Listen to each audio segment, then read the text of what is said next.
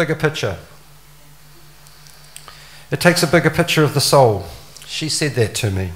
It's the hard baked earth. It's the cracked windows with the views of the sea and the city and the mountains all frosty topped in the distance.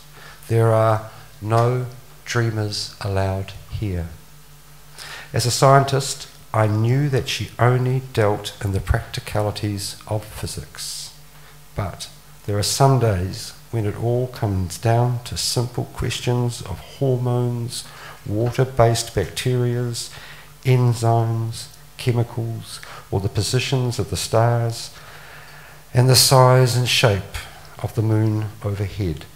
Full stop. Hmm.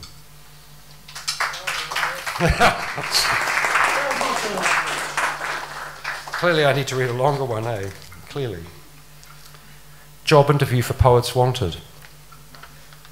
I wanted to let them know that what they saw was exactly what they got.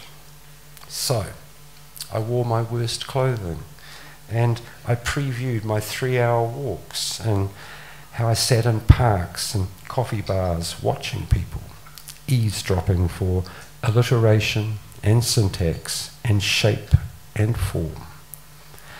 And then I told them that I was not really an office person and I may not appear for weeks on end. And they should be rest assured that I would always be working, even when I was asleep or during my so called lunch break. Full stop. Hmm.